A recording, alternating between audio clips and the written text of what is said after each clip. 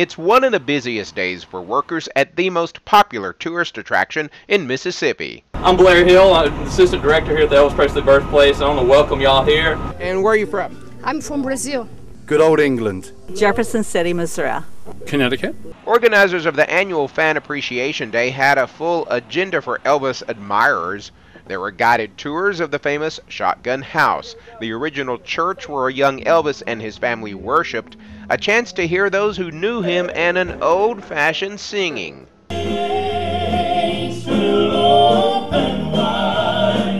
Elvis fans say there are many reasons why the singer is as popular as ever, nearly 34 years after his death. I think it is his love. Love never dies. He's been there all my life virtually, uh, since the very early days. Uh, love the man and always will. He's, he's, he's been my life, my good times, my bad times, just like Elvis. That he never left his humble beginnings of knowing what it's like to want, and that's why he wanted to give.